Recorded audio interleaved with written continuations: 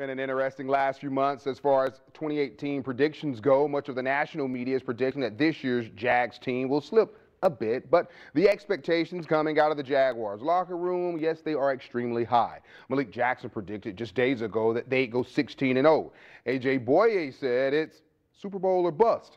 Telvin Smith says having that mindset is important. I think we're the best team in the league. Uh, it's, it's not. It's not. It's not that I'm knocking anybody. There's some talented teams out there, but if I don't, if I don't lock in right now and believe wholeheartedly that my team will be the last team standing, I don't think you really, you, you're not really ready for the fight that's about to come. Jalen Ramsey will miss the start of training camp, but it's for a good reason. Today he announced on his Twitter that he and his girlfriend welcomed a baby girl into the world. Here's a fun fact. She'll now share a birthday with head coach Doug Marrone, who celebrated his birthday today. Jalen said he'll rejoin his teammates on their quest to, quote, handle some unfinished business as soon as his family is situated.